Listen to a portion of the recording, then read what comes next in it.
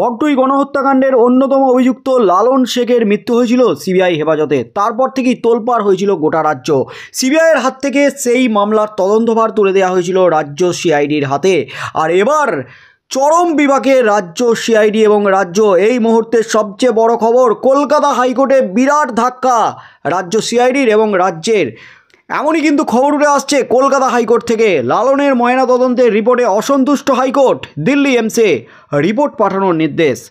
বকটুই মামলার অন্যতম প্রধান অভিযুক্ত লালন শেখের ময়নাতদন্তের রিপোর্টে সন্তুষ্ট নয় কলকাতা হাইকোর্ট। সেই রিপোর্ট পাঠানো হবে দিল্লির এমস এবং কলকাতার এসএসকেএম হাসপাতালে। দুই হাসপাতাল নতুন করে লালনের ময়না ময়নাতদন্তের রিপোর্ট খতিয়ে দেখে নিজেদের মত জানাবে। নির্দেশ বিচারপতি জয় সেনগুপ্তর। গত চোদ্দই ডিসেম্বর কলকাতা হাইকোর্টে লালনের দেহের ময়নাতদন্তের রিপোর্ট নিয়ে আপত্তি জানায় সিবিআই। সেই প্রেক্ষিতে আদালতে দ্বিতীয়বার ময়নাতদন্তের কথা ওঠে। কিন্তু রাজ্য সরকারের তরফে আদালতে জানানো হয়, লালনের দেহ কবর দেওয়া হয়ে গেছে, তাই দ্বিতীয়বার ময়নাতদন্ত করতে গেলে মাটি ঘুরে তা তুলতে হবে। সে কথা শুনে আদালত দ্বিতীয় ময়নাতদন্তের নির্দেশ দেয়নি। সেই রিপোর্টেই এবার যাবে দিল্লির এমস এবং কলকাতার এসএসকেএম হাসপাতালে। সংশ্লিষ্ট চিকিৎসকরা সেই রিপোর্ট দেখে তাদের মত জানাবেন আদালতকে। নির্দেশ বিচারপতি জয় সেনগুপ্তর। গত বারোই ডিসেম্বর বীরভূমের রামপুরহাটে সিবিআইয়ের হেফাজতে মৃত্যু হয় লালনের। সিবিআইয়ের অস্থায়ী ক্যাম্পে শৌচাগার থেকে তার ঝুলন্ত মৃতদেহ উদ্ধার হয়। বকটুই কাণ্ডের অন্যতম অভিযুক্তের এভাবে মৃত্যুর ঘটনায় তোলপাড় শুরু হয়ে যায়। সিবিআই দাবি করে আত্মঘাতী হয়েছেন লালন। অন্যদিকে, লালনের স্ত্রী দাবি করেন, সিবিআই মারধর করে তার স্বামীকে খুন করেছে। তিনি সাত সিবিআই আধিকারিকের বিরুদ্ধে খুন, তোলাবাজি হুমকি সহ একাধিক অভিযোগে মামলা করেন। রাজ্য সরকারের নির্দেশে ঘটনার তদন্তভার যায় সিআইডির হাতে।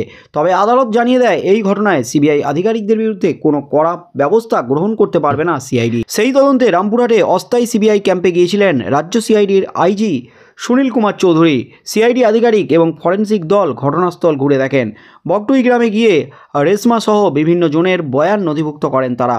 জেলে গিয়ে জিজ্ঞাসাবাদ করা হয়, ঘটনার দিন লালনের সঙ্গে সিবিআই ক্যাম্পে থাকা অভিযুক্ত বন্দীদের জাহাঙ্গীর শেখকে। আর এই মুহূর্তের কিন্তু সবচেয়ে বড় খবর, লালনের ময়নাতদন্তের রিপোর্ট নিয়ে কিন্তু সন্তুষ্ট নয় Kolkata high court.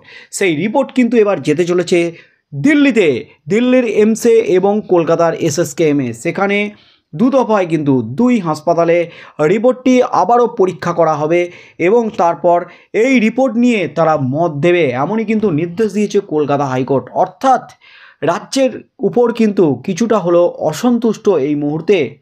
Kolkata high court. বন্ধুরা, আপনারা কি বলবেন? আপনাদের মতামত অবশ্যই আমাদের কমেন্ট বক্সে কমেন্ট করে জানান। এই সব খবরের লেটেস্ট আপডেটের জন্য চ্যানেলটি সাবস্ক্রাইব করুন এবং নতুন নতুন ভিডিওর নোটিফিকেশনের জন্য নোটিফিকেশন বেল আইকনটি প্রেস করুন। সকলে ভালো থাকুন, সুস্থ থাকুন, ধন্যবাদ।